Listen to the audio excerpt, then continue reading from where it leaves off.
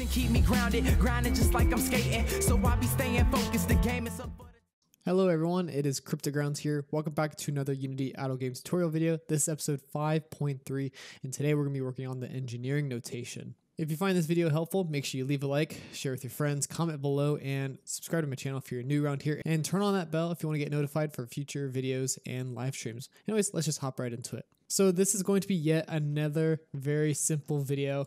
I'm pretty much just going to be doing some copying and pasting because of how simple this notation is basically we're combining the standard and scientific notation. So we're going to be grabbing everything from the standard notation and just getting rid of parts of it.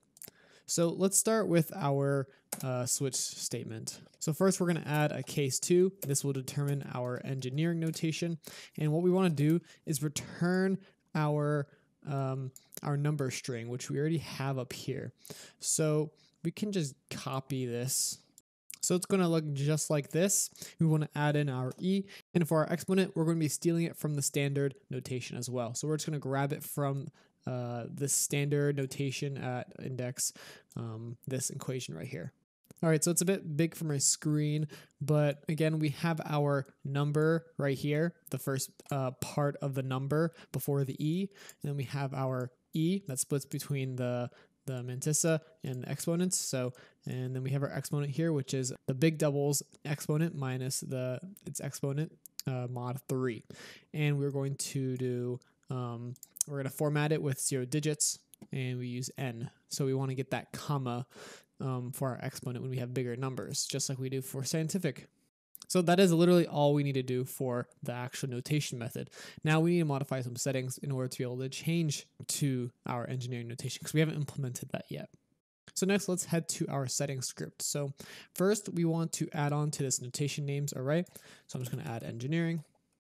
Great, that is all we need to do with this. So now let's give it a try. All right, so let's head to settings.